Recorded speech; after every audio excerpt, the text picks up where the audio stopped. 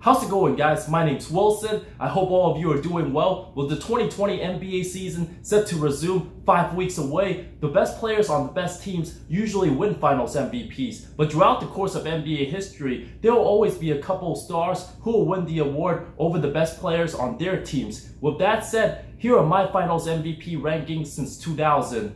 Number 20, Andre Iguodala 2015. One of the most surprising finals MVP all time, our Shark had the 6'7 small forward, 100 to 1 odds, tied for the 7 most. In a series where Kyrie got hurt late game 1, Kevin Love didn't play, Golden State was supposed to roll through Cleveland, but after Steph Curry struggles in games 2 and 3, the Dubs found themselves down 2 games to 1 until Coach Kerr inserted Iggy to the starting lineup. It's shocking to see any finals MVP come off the bench for half of the games. Had a masterful 22.8 rebound game 4, the game he held LeBron to 7 of 22 shooting, a huge difference maker, closed out game 6 with 25 points, having just okay finals numbers, and the primary option on James, who shot just 38% from the floor when Iggy was playing, one of the worst finals MVPs in NBA history. Number 19, Kawhi Leonard, 2014. It was a total team effort for San Antonio. To annihilate Miami, the 22-year-old got the nod, averaged 17.8 points, 6.5 rebounds, over a steal and a block on 61% shooting. Three other Spurs also had strong cases, but since Leonard had the assignment guarding LeBron, who averaged 28, 8, and 4 on 57% shooting, James scored 63% of his points from games 3 to 5, being down 15 plus. Leonard's length and versatility caused problems,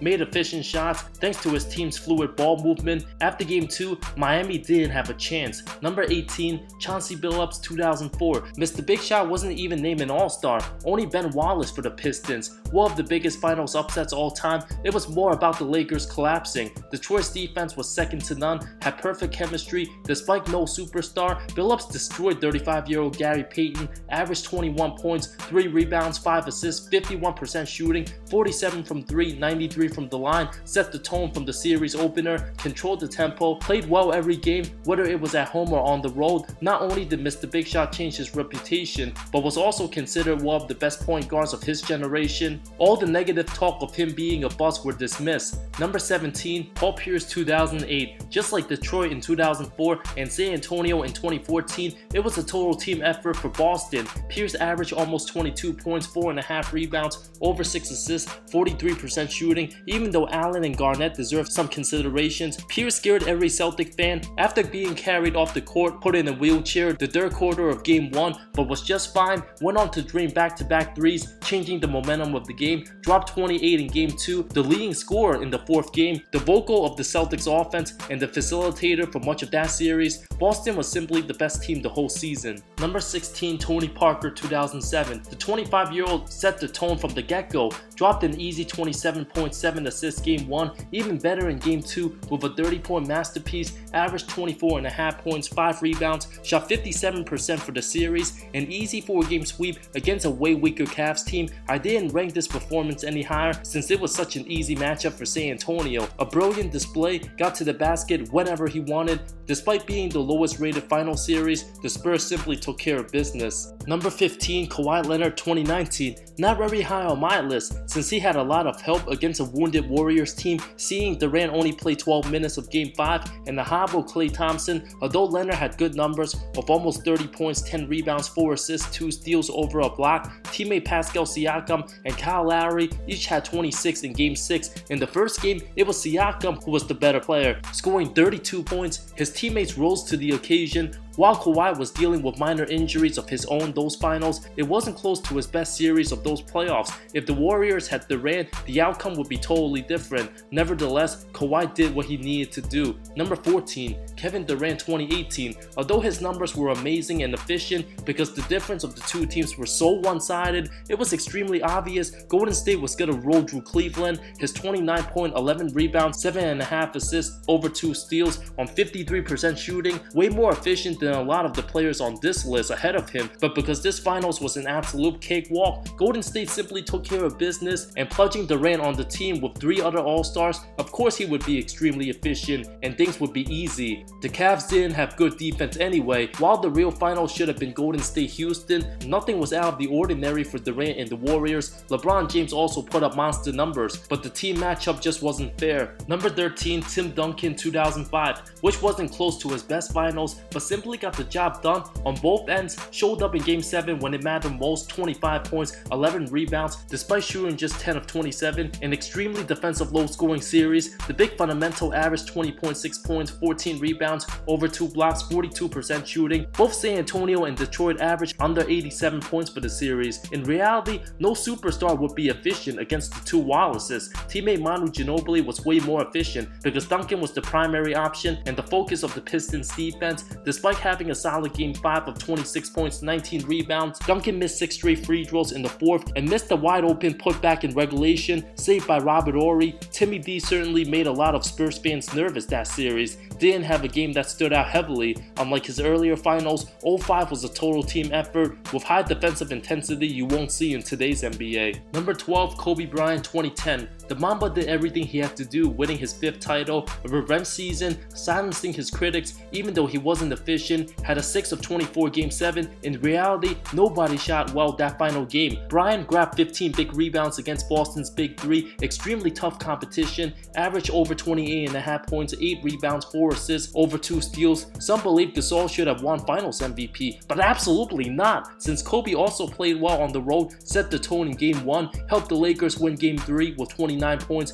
Gasol only 13, LA's only win in Boston. Kobe also had a masterful 38 point game 5, his teammates didn't show up, Gasol only a dozen, LA averaged only 90.6 points for the series, a physical battle. This title highly enhanced Kobe's legacy, especially with the Lakers-Celtics rivalry implications throughout league history.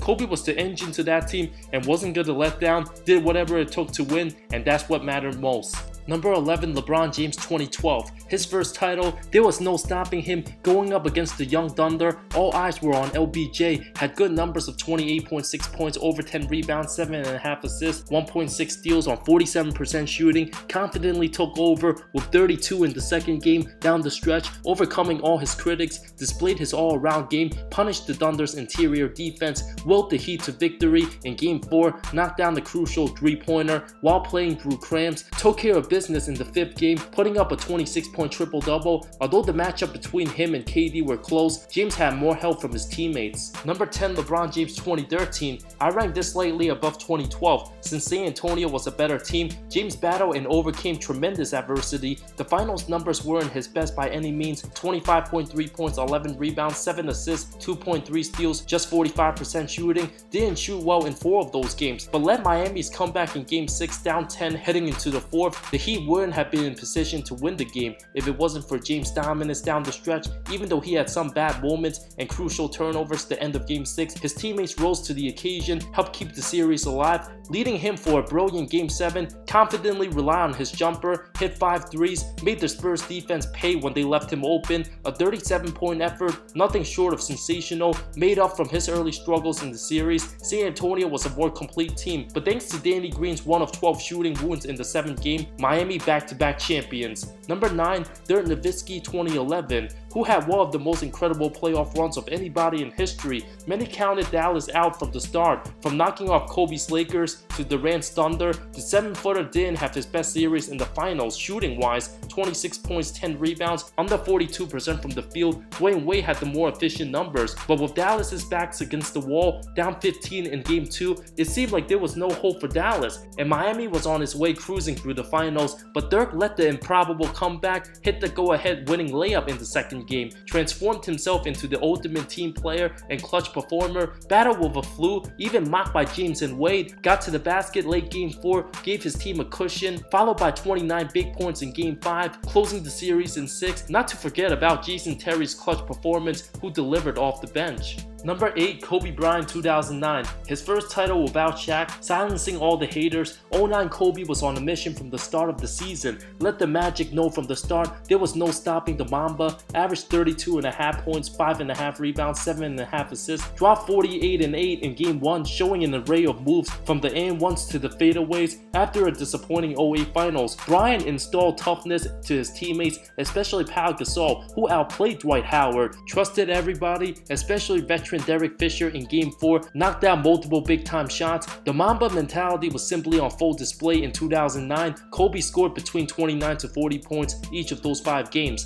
Number 7, Kevin Durant 2017. Statistically, it was one of the best finals we ever seen, but Golden State was close to unstoppable and unbeatable. Four All-Stars in search for his first title, Durant did what he needed to do. Cleveland's defense wasn't elite. Average over 35 points, 8 rebounds, 5 assists on 56% shooting. Golden State just outran the Cavs the whole time. Cleveland was eventually going to tire out in the second half. James himself averaged a 33 point triple double with no defense played whatsoever. The Warriors averaged 121 points for the series, Cleveland 115. Anything short of a title for Golden State would be considered an epic failure since the team won 73 games the year before without him, up 3-1. The Dubs might have repeated if it wasn't for the injuries and suspension, just by adding the best scorer in the game, make Golden State untouchable, especially when healthy. Number 6, Tim Duncan 2003. The lone all-star on his team, the way he carried those Spurs to the finals, a true testament to his greatness, averaged over 24 points 17 rebounds, over 5 assists, a steal, 5.5 block shots, nearly 50% shooting. His defense was even better than his offense. That's the scary part. Having second year Tony Parker and David Robinson's final season, Duncan started with a 32.20 rebound, 7 block game 1 performance. New Jersey simply had no answers for the big fundamental. After the Nets tied the series at 2,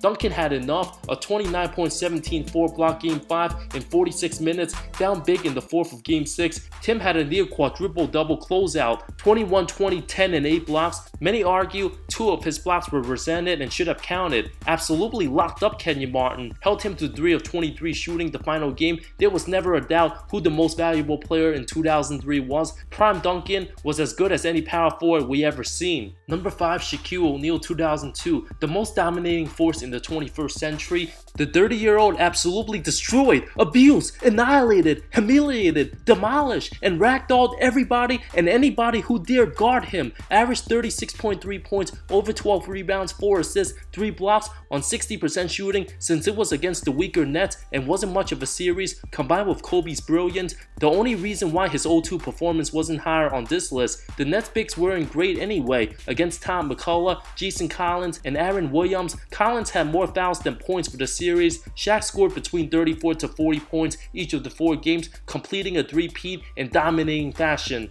Number 4. LeBron James 2016, the greatest comeback in finals history, led all players in each of the five major statistical categories. LBJ refused to let his team lose. The reason why this isn't number 1 on the list, James did have a couple bad games, a reason why his team fell down 3-1 in the first place with the help of Draymond's suspension and Andrew Bogut going down in the fifth game. James's game 5 and 6 performance absolutely legendary, 41 apiece and back-to-back -back elimination games changed the momentum of the series. Golden State couldn't handle the pressure, heavily outplayed the two-time MVP Steph Curry, proving no doubt who was the best player in the game. Despite not having his best numbers in game 7, 27, 11, and 11, did what he needed to do to chase down block on Iguodala, the most spectacular defensive player in NBA history. Superstar teammate Kyrie Irving also put in work, averaged 27 for the series, and now played Steph Curry. LeBron finally being able to win a title for Cleveland, the biggest accomplishment of his career. Number 3, Dwyane Wade 2006. Flash had his best series, single-handedly put Miami on his shoulder, averaged almost 35 points, 8 rebounds, 4 assists, almost 3 steals, a block. His team's second leading scorer, Antoine Walker, under 14 a game, Miami being down 2-0, looked doomed after trailing by 13 with just over 5 minutes left in the third game. Many written the Heat off at the time, but the 24-year-old absolutely took over down the stretch,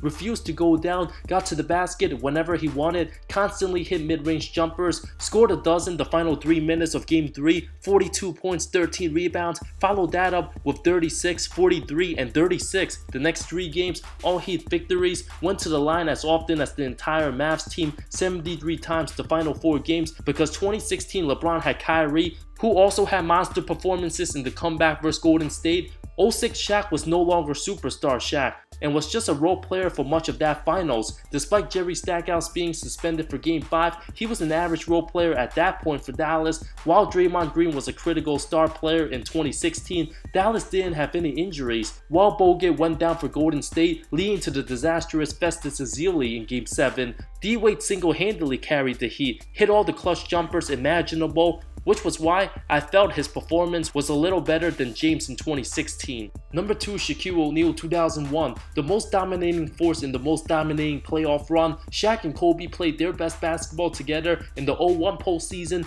Both took turns dominating. O'Neal took care of Portland in round 1. Kobe destroyed Sacramento and San Antonio. In the finals, it was the Big Diesel's turn. Averaged 33 points, 16 rebounds, 5 assists, 3.5 blocks, 57% shooting. Dominated and posterized 7-1 Dikembe Mutombo. Made him look like a baby out there. Who was the best interior rim protector at the time? The defensive player of the year? Didn't matter. After a 44 and 20 game one loss, the only L the Lakers took that whole playoffs. Shaq flirted with a near quadruple double game 2, 28 points, 20 rebounds, 9 dimes, 8 blocks, was also the best defender that series. The way he backed down Dikembe, Shaq was a giant amongst boys. Number 1, who else but Shaquille O'Neal, 2000 finals, one of the best individual finals performances all time, and the best finals performer in his prime outside of Michael Jordan. The MVP was on a mission all season, being tired of the criticism over his lack of championships, his 300 plus pound frame, 8 7 foot 4 Rik Smits and big man Dale Davis alive for breakfast, lunch, and dinner. Averaged 38 points, 17 rebounds, nearly 3 blocks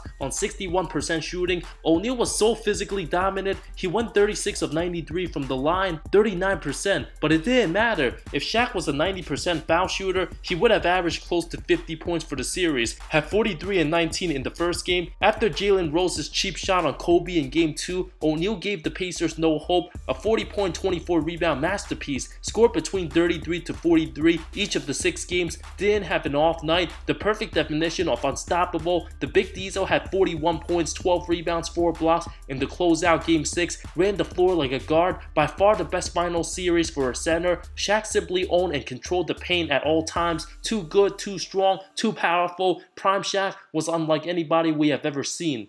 Which one of these finals performances was your favorite all time? Let me know in the comments below. Thank you so much for watching this video. Subscribe for more content. I love all of you. See you next time.